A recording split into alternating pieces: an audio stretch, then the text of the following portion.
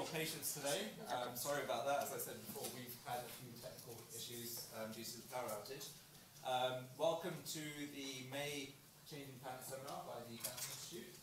Um, today we have a fantastic talk by um, Professor Dame Georgina Mace, who is, um, we'd like to welcome back actually for today. So, uh, short introduction for Georgina. So, Georgina is an ecologist and a conservation scientist.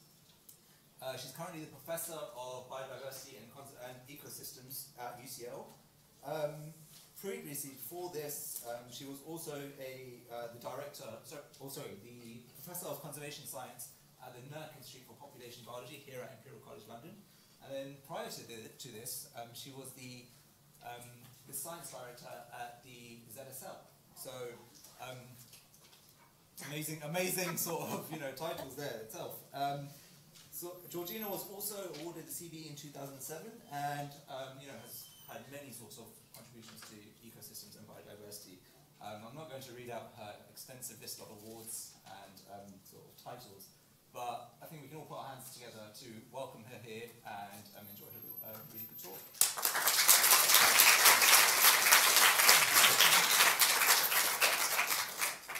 Okay, well, thank you uh, very much for the introduction, and um, Thank you for the invitation to come and talk here. Can you hear me? Is that okay? I'm actually losing my voice, so I hope the microphone uh, is working. So yeah, it's a real pleasure to be back here because I was here at Imperial between uh, 2006 and 2012. So actually I was here when the Grantham Institute was founded and I remember many early discussions about what the focus of the Grantham Institute should be and how we would link environmental um, sciences into the climate change focus of the Grantham. So it's a big pleasure for me to come back and, and talk to you all.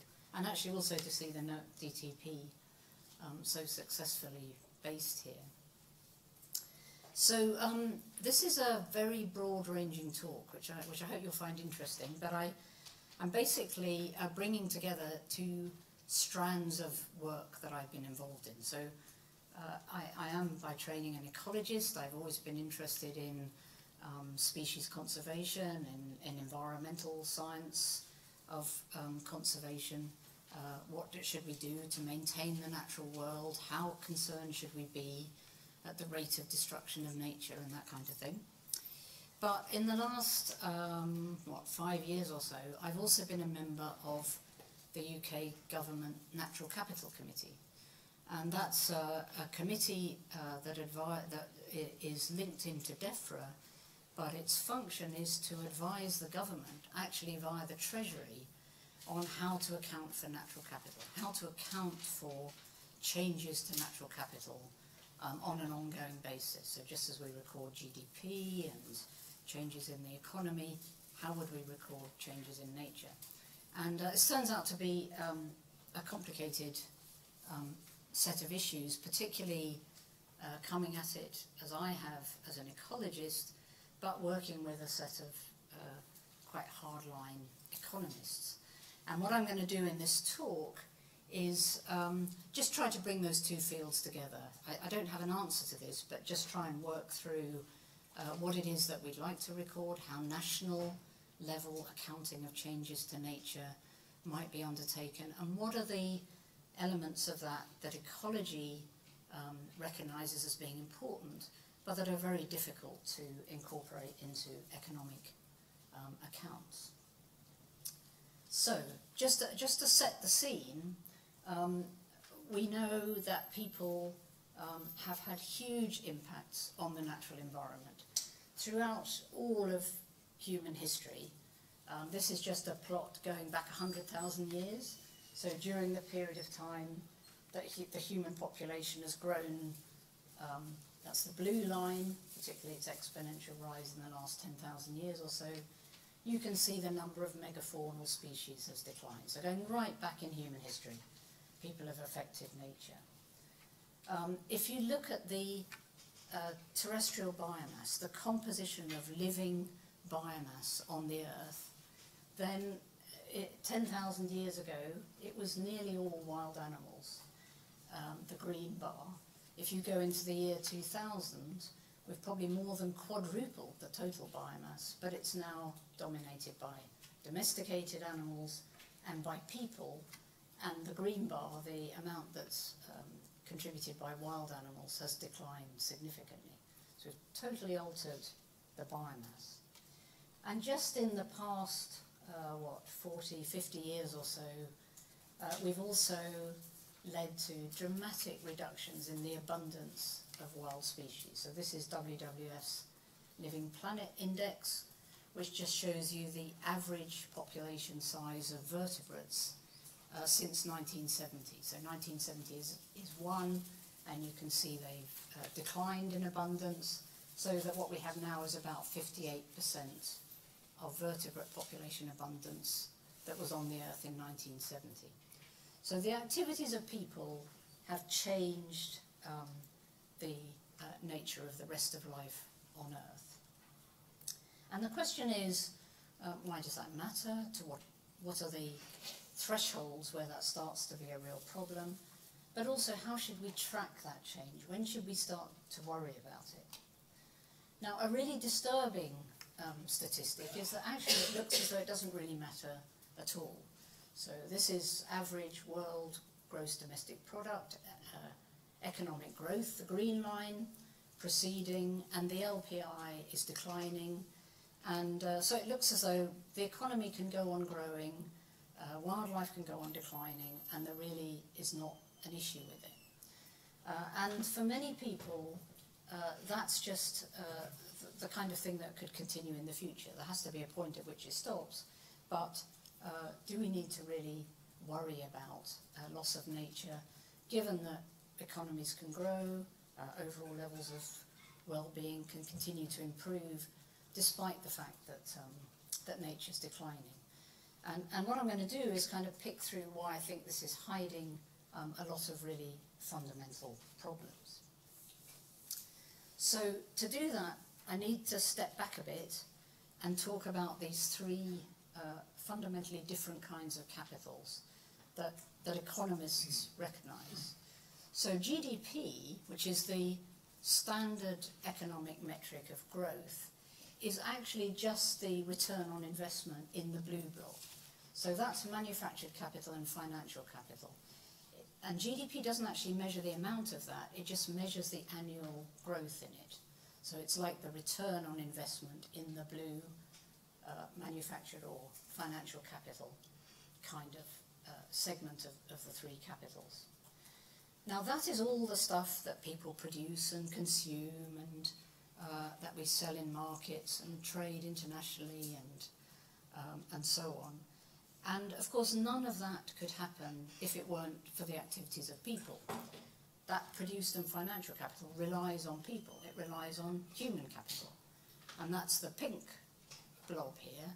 So human capital is just the sum of people, their knowledge, skills, experience, etc. Um, it's sometimes divided into human and social, so human would be all things that people do. And social capital is what people do as groups, the added value of being able to communicate. So all of you in this room represent some unit of social capital. So you need people in order to produce that, the produce capital.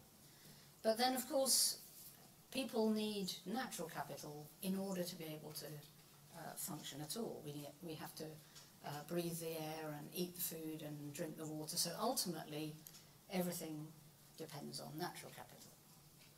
And natural capital is the parts of the natural environment that produce value to people. So it is, by definition, an anthropocentric term. It's not just all of nature, it's somehow geared towards the things on which people depend, and, and that gets um, quite complicated as I'll show you in a moment. So I'm going to talk, so the question is how do we measure changes in that natural capital uh, over time, given that all we've got at the moment is the return on investment in the produced capital. So let's just, I just want to step back. This is what the Natural Capital Committee uses to define natural capital. So the bit at the bottom is the definition. Natural capital refers to the elements of nature that produce value or benefits to people, such as the stock of forests, rivers, land, minerals and oceans, as well as the natural processes and functions that underpin their operation. So that's kind of definition of natural capital. And there's a few things to point out from that. So it's not the same as biodiversity. It's actually bigger than biodiversity and it's bigger than ecosystems. It includes the non-living parts of the environment. It can include coal and oil, uh, minerals, uh, non-renewable resources. Um, and it's not everything. It's not just like adding up how many species there are or uh, adding up the total diversity of soils or something. It is geared towards uh, the, the utility, uh, what people actually will one day want and need. Um, and it's not the same as ecosystem services because now we're talking about the stock, not the flow of, of benefits. And that turns out to be a really important thing, that it's the stock that matters. Just as the uh, GDP is the flow of um, money from produced and financial capital, ecosystem services are the flow of benefits from natural capital. But natural capital itself, capital is a stock. So, it's, so the stock is looking at wealth, and just to, to go back in, in basic economics, wealth is the stock of assets that generate future income and well-being. So we're maintaining this not for necessarily for what it does now, but for what its potential could be for the future. Wealth implies something bigger than just the current flow of values. Um, and the flow is the return on wealth. So if you imagine this is Blenheim Palace, um, that's a, uh, a, an asset, a stock of a building that actually has huge value, probably immeasurable value. Its delivery on income is much more restricted than it was in the past. They have to do all kinds of things like weddings and film shoots and so on to make any money out of it. But it is a massively valuable asset. And its value is all the uh, reasons that you can't suddenly replace it. You can't suddenly pull down Blenheim Palace and make a new one. And all the potential ways that you could use it. At one time it was for um, home for um, some war heroes, the aristocracy, and now it's a major tourist attraction. So the, so the wealth is, is the asset itself. Whereas on the right here, you've got a bunch of footballers who have a massive um, amount of cash. Um, but the asset they have, their ability to play football really well, is rather ephemeral. It's rather limited. Once they stop playing football, they've just got that cash. So there's just this difference between the, the asset and, and the flow of cash. So what I'm going to do is talk about uh, natural capital, and got, I'm going to talk about five steps to better incorporating um, all the natural science into natural capital accounting. I'm going to start with more economic kind of measures, and I'm going to end up with some uh, more basic ecology. So the first one is we need to measure stocks, not flows. So instead of measuring um, the value of the um, benefits from some kind of um, asset, instead of just measuring the value of forests by the market value of their timber, or instead of measuring the value of fisheries by the market value of the fish, we need a measure that takes the whole stock value. And this is some data from a paper by um, Kirk Hamilton and Cameron Hepburn, where they uh, tried to do this for the um, total capital values for uh, produced capital, human capital, natural capital, and then there's a residual um, for a whole range of countries. Now, this the reason this is wealth is this is the um, present uh, the future value of the present stock. So it's an economic value of all the future values that the present stock could deliver. So it tries to be a stock measure, not just a, um, a cash value. And the way they calculated this is um, there's some curious things about these data. So the produced capital and the natural capital are calculated bottom up from national accounts. So from national accounts of uh, trading and manufacturing and business and so on, and also natural accounts of natural resource um, businesses, fisheries, forestry. So that gives you the, uh, the blue and the green. And then they have a total um, wealth for the country, which is uh, the total uh, GDP. and the residual gives you the human capital and the intangible residual. And I can't explain to you exactly how they do this, but as you can see, there are some funny things that happen because they when they add up um, the bottom-up produced and natural uh, and the estimate of human capital, they sometimes end up with a negative, i.e. the total isn't big enough. So you can see that for Korea, there's a negative for the intangible. But the point is that this is an effort to uh, measure the total stock value in monetary terms of all these different kinds of capitals. Now, the really disturbing thing is natural capital is absolutely tiny. I mean, it's almost invisible, um, particularly for countries like Britain and the States. You can see it for countries that have got bigger natural resource endowments, Norway and New Zealand, but it's just completely invisible um, for us. And yet, uh, what I showed you earlier is that the whole thing depends on natural capital. So why is that, why is that so small? Um, so I think there, are, there is a set of very good reasons. So even though they're considering the stock, uh, they're entirely missing the contribution to social and produce capital. It's just the, the natural capital itself. It's just the, the forestry and the fi uh, fisheries market values. Secondly, that they're using prices. So they're using market prices, not actually value, not the contribution to society um, and well-being. So it's distorted by lots of um, market uh, subsidies and just the general effects of markets. But also, it's limited to natural capital resources that have markets. Um, so these ones where you can actually find a, a price and add them all up. So it's missing a whole load of natural uh, capital resources and benefits that just don't ever appear on the accounts because they, uh, they're not in the market. And I'll, I'll, come back and talk about what those are in a minute. Um, there's also sort of fundamental contradiction here is that if you accept this, the sort of schematic and everything uh, is underpinned by natural capital, then any estimate is an underestimate because actually it's, it, it, it, natural capital underpins everything. And the very famous paper that Bob Costanza did where they uh, calculated the total value of um, ecosystems to be 3 trillion, 33 trillion dollars, I can't remember.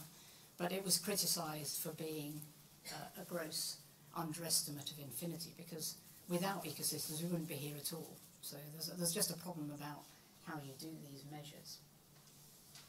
So, um, so we want to move away from just using these market prices. We want to have some more inclusive values. We want to be able to think about natural capital contributions that are not just marketed goods and services. So how are we going to do this? Well, here's an example that comes from some work we did in the Natural Capital Committee. This is a, an analysis that Ian Bateman, who's an environmental economist, did to just look at what would be the total social value, um, million pounds a year, of planting an additional 250,000 hectares of new woodland over the next 50 years. And in the first um, estimate of this, he just considered only market price goods. So these, these woodlands are now just contributing to, uh, to timber. And where you would, he finds the places where you'd optimally um, print those, uh, plant those forests and these are basically places that are not very good for agriculture because otherwise you'd be taking up valuable land. And there's nobody really living there, they're not in cities. So um, you can work out where those should be and then you can work out the, the value of that, which in this case is minus 66 million pounds a year, just for the timber value. But if you now put in um, not only the timber value, but two other kinds of social values. One, uh, the value of greenhouse uh, gas reduction, so the carbon sequestration contribution of woodlands, and you put in recreational values, how much they benefit people who are able to go and visit woodlands and uh, experience wildlife, have a good day out and so on. So he, he's able to do the economics of those two other kinds of values you see how the optimal location of woodlands shifts. So now they tend to be near where people live. There's a whole set of them all around the big cities, London and Birmingham, Manchester and so on. Um, they're still uh, displaced by agriculture, but now you see the total contribution um, to the economy is plus 546 million pounds a year. So those non-market values turn out to be really significant.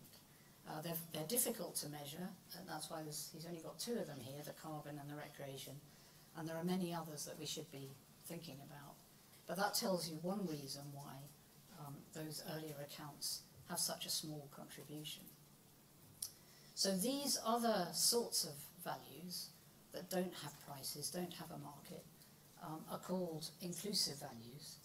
And there's been some work done by UNEP um, to try and work out the inclusive wealth of nations. So to start bringing in these shadow values, um, a much uh, more inclusive set of um, contributions. So you probably can't read this. It's a really it's a very fancy way of producing stuff that's incredibly difficult to read. But basically, they work out the inclusive wealth of nations from adding up three things: the, the social value of manufactured capital, so not just the market value, but all the social value as well. The social value of human capital, that's education and health um, primarily, and the social value of natural capital. And they did a lot of work to try and improve country level statistics for those three to get these inclusive measures. And then you add them up and you get the uh, inclusive wealth of the nation. So uh, this is what if you take worldwide inclusive wealth per capita, this is what happens. I, I don't know if you can see this, it's not very good, but the, uh, the green line is, is population growth, and the solid black line is the increase in inclusive wealth, i.e. the total of all the uh, different wealth types. The fastest growing is the um, produced capital, the dotted black line, and that the reason the total isn't increasing as fast as the um, produced capital is because natural capital is declining. That's the green line at the bottom that's going down. So that's dragging down the average inclusive wealth line. Um, and you know, the, the, the result is that the inclusive wealth per capita is only just increasing um, over that, uh, what, 20 year period. Now, actually, in this uh, report, they really majored on the human capital. I don't think they did a lot more with natural capital um, than had been done previously, but they spent a, made a lot of effort to get better statistics for human capital, which is education and health primarily. And you can see that when you do that, the, the contribution to um, total wealth becomes very large from human capital. So 54% of um, inclusive wealth of a country comes from human capital. And this produced capital is now only 18%. So whereas in those earlier figures, the produced capital looked really important, um, it's now got much smaller, and that's because of these um, shadow values. And uh, yeah, and the human uh, capital is barely increasing over time, which is not a good thing. We're supposed to be um, improving the human condition. We're doing quite well with produced capital, but we're not doing very well with, with human capital, and we're losing natural capital. So that's uh, trying to get more these more inclusive values and prices. Now the next step I want to do is to go to contributions from natural capital for which we can't get any monetary valuation at all. We know they're important, but we can't get these um, pound and dollar values. So I'm now going to move away from using um, uh, monetary values and just start looking at natural capital and its contribution to society more generally. And um, this is uh, to try and be more comprehensive. What are the natural capital assets the components of natural capital that are at risk. So this is some work we did for the Natural Capital Committee, and we were answering the question, what are the natural capital assets at risk? If the UK is worried about some part of natural capital, what is it? So uh, we define them as uh, in terms of the value of the benefits that society gets. It does have this anthropocentric focus. So it's not just a simple measure of the asset. And we take this general uh, conceptual framework where there's a set of natural capital assets, uh, you manage them, this could be woodlands or grasslands or lakes or whatever. You manage them for a set of services and goods, uh, recreation, carbon, fisheries, and society deliver, receives benefits and values from that, the, the red box on the right. Of course, by the time you get over here, you need the human capital and the produce capital. By the time you get to eat food or receive education, you've got to have transport and buildings and, and so on. So what are the assets and what are the benefits? Well, that's a, a big question, but we just defined a series of assets, ways of dividing up the natural environment, things that you might actually be able to measure and count, species, ecological communities, soils, fresh water, land, minerals, the atmosphere.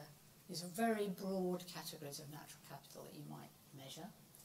And then there's a whole set of benefits. These are the main benefits that people receive that are pretty direct from the environment. They're, they're ones that we actually manage the environment for. Food, fibre, energy, clean water, clean air, recreation, aesthetics, hazard protection, wildlife and conservation, equitable climate, that's the kind of climate mitigation side of um, ecosystem management, and minerals. So there's a couple of things about this. If you think about any of those benefits on the right, um, they depend on a, a, whole combination of assets on the left. So if you think about food, for example, you need species, you need crops and pollinators, you need ecological communities, you need the right combination of um, soil microorganisms, you need water, you need some land, you need minerals, you need the right uh, uh, concentrations of atmospheric gases, uh, you need some carbon and nitrogen, etc. So any one of the things on the right depends on a whole set of uh, things on the left. And if you try to map from the left to the right, it gets very, very complicated uh, very quickly and almost insoluble. Um, but if you move from the, if you think about the things on the right, let's think about the benefits that society requires, uh, which are the ones that ultimately contribute to health, well-being and the economy. And then you work backwards. What is it that we need from the environment that delivers each one of those? And which are the natural capital components that could be um, at risk? Which are the ones that might uh, cause some risk to these benefits on the right? And that, that then becomes an achievable way to do it. So we define the natural capital assets at being at risk when some benefit that society derives from them is at risk. And that means that the natural asset um, has a condition or a, um, a quantity or a quality that's deteriorating or degraded to such an extent that the benefit can't anymore be assured. So let, let me just show you. Um, so very you can just think about this as um, we need a certain amount of um, woodland in a certain kind of configuration in order to assure the conservation of woodland bird species. Uh, we need a certain uh, quality of water so that every ha household in the UK can achieve um, a, a regular uninterrupted supply of water even in drought years. Um, we need a, a good quality of soil to underpin agricultural production. And what we did here was to ask for each of the kind of major asset types, one's on the left here, and each of the uh, major benefit types, what, where there was a, a risk that some degradation in the asset was putting that benefit at risk. And that let us compile uh, very roughly this risk register for natural capital. So what you have along the top is a set of, is a classification of natural capital. These are just big land use types in the UK. Mountain moors and heaths, enclosed farmland, semi-natural grassland, woodlands, freshwater, urban areas, coastal margins and marine areas. And then for each of those, you have a measure of quantity, quality or spatial configuration. How much of it is there? What's, what's its condition or quality? and where is it? And then you ask for each of these major benefit types on the left-hand side, food, fibre, energy, clean water, clean air, recreation, aesthetics, hazard protection, wildlife, or climate regulation, where that asset uh, might be putting that benefit at risk. So if it's red, if the box here is red, it means that asset is either degraded or declining so fast that that particular benefit type on the left um, is already at risk. If it's yellow, it's approaching being at risk, and if it's green, it looks okay. And if it's grey, uh, it either doesn't matter or we couldn't assess it, and I fully accept those aren't the same things, and there should be two different kinds of grey, but they didn't come out very well. But, but basically, the, the, the red and the green tell you some interesting things. So if you look at, um, first of all, the rows that have got a lot of uh, red in them, so wildlife has a lot of red in it. There are many natural asset types that are putting wildlife conservation at risk, particularly um, the farmland areas, uh, semi-natural grasslands and fresh waters. These are areas where disruption to the um, ecosystem is, is threatening wild species. There's also quite a lot of um, areas where water quality is being put at risk by environmental degradation, particularly in mountain areas, um, in farmlands and in urban areas. And then you can see it's also quite interesting that for many of these asset types, it's not the quantity, it's the quality of the, um, of the ecosystem that matters. It's how it's being managed. So this is a really good signal. If you manage it better, you might be able to lift it out of this high risk zone. Um, in terms of the major ecosystem types, the ones that come out at being at high risk is uh, fresh waters, where there's lots of uh, benefits from fresh water that are at risk, some of the coastal margins, and uh, enclosed farmland, which is great for food production, but um, it puts some other benefits at risk. So this chart obviously underpins a lot of more detailed work, but what it let us do was to um, highlight some uh, natural capital assets that we recommended to government they should invest more in in order to um, assure those benefits. So in order to get clean water, um, there needed to be some work on upland areas, um, urban areas. For wildlife, uh, wildlife declining in many parts of England, but semi-natural grasslands, farmland and freshwater environments were a particular problem. Carbon storage, there was a lot that could be done um, in mountain moors and heathlands that would improve carbon storage. Hazard protection all about natural flood control. Uh, recreation, there are many benefits to society from recreation which um, are quite easily um, solved by additional green space in urban areas um, and so on. So we were able to highlight a set of investments in natural capital that should be good for the um, economy. And uh, we actually got some economic evidence now to show that um, particular kinds of investments would deliver a good return on investment. So now we go back into looking at some economic figures. We've got this clue as to what are the things that need doing. Planting woodland, upland peatland restoration, wetland creation, intertidal habitats. And then we could look at the uh, cost benefit of investing in those natural assets. And that uh, was really interesting in that uh, this is how government makes decisions about big infrastructure projects. So on the left here are the built assets that the National Infrastructure Commission, which is a big government body, thinks about road schemes, light and heavy rail, active travel, sort of cycling walking schemes, flood defences, broadband, housing and non-housing. And they, the uh, y-axis here is the benefit to cost ratio. So you can see they range from, uh, I don't know, one or two up to about 20. Broadband is pretty hard to beat actually. Um, but here's the natural assets on the right. Here are the benefit cost ratios for investing in woodland, catchment restoration, salt marsh restoration and inland wetland restoration. You can see there they stack up pretty fairly alongside these um, built infrastructure investments. Actually, they beat I think they nearly all beat uh, rail schemes, which turn out to have a rather low benefit cost ratio. So that was really interesting that uh, you can actually make a case for investing in natural capital infrastructure. And we made a, a recommendation to government that they should think about natural infrastructure as part of the uh, National Infrastructure Commission, but uh, they, uh, they didn't uh, follow through on that recommendation. It was one of the ones they didn't follow through on for complicated reasons. So being more inclusive about uh, what are the benefits from natural capital also uh, increases the value. So the fourth thing that I want to talk about is, and this is a real dif difference between natural capital infrastructure and built capital, is its multifunctionality.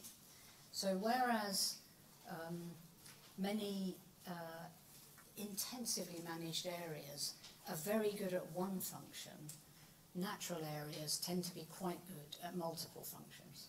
So this is just a little uh, diagram of that. There's a natural ecosystem, an intensive cropland, and uh, intensive cropland has been restored for multiple ecosystem services.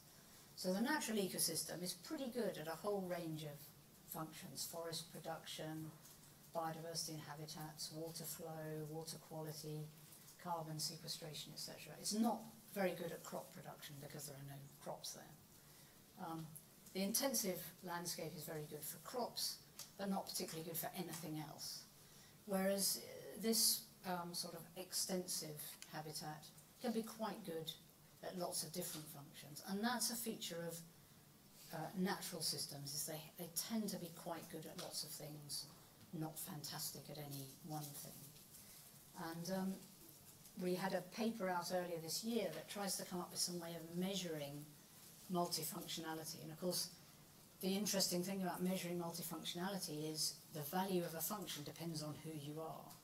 So this was a study looking at four different kinds of ecosystem functions um, and two different sorts of users, the ecotourism industry and the farmers. And the study was based in Germany, which is why the farmer looks like that. We don't have farmers that look like that. Um, he's a German farmer. And we just uh, compared these two um, sort of cartoons of habitat types, an, extensive and an intensive habitat, and what the uh, deliver of certain, delivery of certain functions would be like water quality, carbon storage, food production and ecotourism, and then work out the value for those different users. And you can find out, not surprisingly, uh, that the farmer prefers uh, an intensive landscape and the uh, ecotourism guy prefers an extensive landscape. But of course you could do this uh, much more elaborately for different systems. And it just makes the point that there isn't a right or wrong function, it depends on, it depends on the demand side. So the final uh, thing that I want to talk about, which, which is very difficult to include in any kind of accounting as far as I can tell, um, is the, what I would regard as the most fundamental feature of natural systems. So nature is by essence uh, resilient and adaptable. The reason that we have a diverse nature uh, on the planet alongside us is because evolution has um, encouraged and enhanced that resilience and adaptability as pressures from people have changed, as the environment has changed, as ecological communities have changed, nature is itself um, adapting and evolving and changing as well.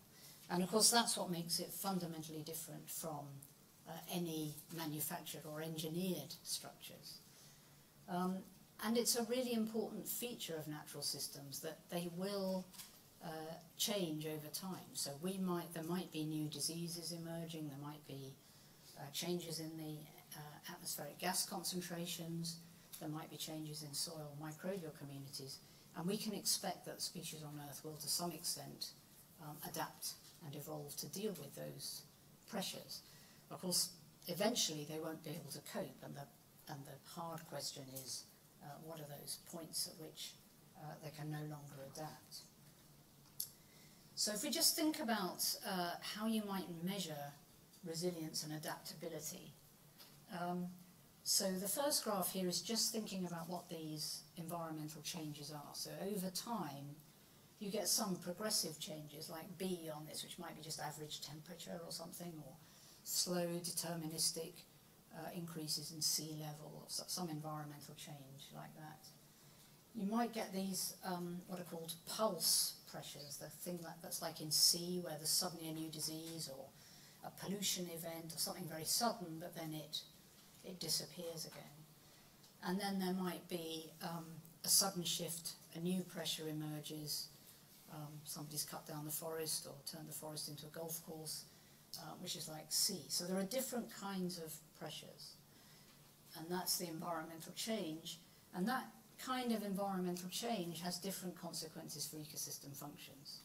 Uh, they might uh, be able to persist for a while. You may get these hysteresis effects where it changes but then never actually quite recovers.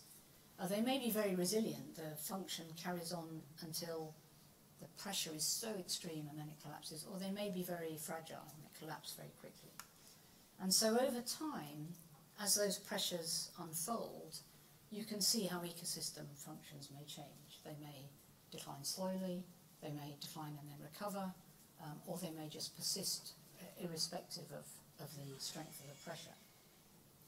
And that gives, if we have a, a demand side, if we know how much of an ecosystem function we require, if we've got that uh, demand side on the, on the y-axis, then we can start to measure resilience because the resilience will then be just the amount of time that the ecosystem is below the required level. So this just shows you three uh, different kinds of uh, resilience or recovery. So the, the, the size of the arrow is how big the pressure is. Um, the first graph is quite resistant, even with a extensive pressure, the system barely drops below the demand side requirement. Um, the second one is, is uh, recovers very well. It's, it's got good recovery potential, so it drops down, but it recovers back very quickly. And the third one is neither resistant nor recovering, so it spends a lot of time below the line. So we can characterize ecosystems uh, by how much of the time uh, they're expected to be in that red area. They're not meeting the functional requirement. Um, now it's quite difficult to know how to do this without thinking about some functions, but if you think about something like pollination or carbon sequestration or even food production, you could come up with ways of measuring this kind of thing.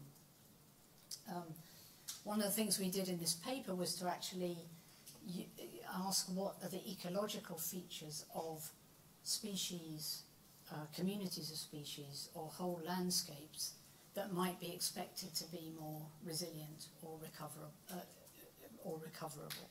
So we can come up with these features uh, that, would, that are good measures, good proxies, if you like, for resilience.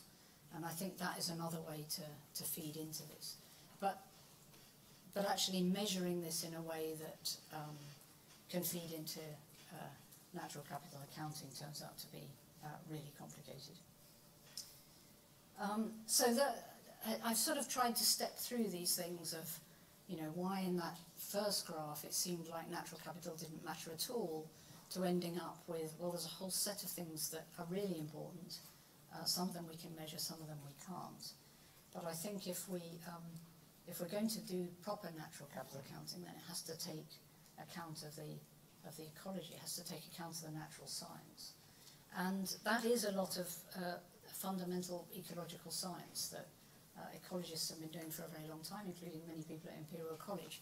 So these things to do with uh, what are the ecological and evolutionary pressures, where are the thresholds, um, where does it, when does it, uh, location and spatial context really matters? What are the spatial and temporal scales at which these relationships um, meet thresholds or where they become less resilient and so on. So I think there's a lot of work to be done to try and bring together uh, the ecological processes into uh, thinking about the valuation of natural capital. Um, and, the, and there are some research needs that come from that. So the first thing to say is you can't do any of this without having a demand side, that what society needs and demands from the natural environment is what determines its value and that's just a, people don't like that, but that's a natural capital definition. It doesn't mean that's the only thing you should do. what is the form and shape of these system benefit relationships, these non-linear uh, uh, relationships that are very common? And what is it that drives those um, thresholds and, and tipping points? And uh, where, what are the limits to multifunctional landscapes? And does it matter that there's whole change of whole set of global change processes that are going on that are changing ecosystems probably faster than at any other time in their history from climate change or land use change? How important are those global change processes in uh, either limiting the multifunctionality, in uh, valuing the resilience, or even in those um, non-linear relationships between assets and benefits. So I think there's lots um, of work that needs doing here. So I'll just uh, finish there. Thank you for listening and uh, acknowledge the people who I've worked with on, on this project. Thank you very much.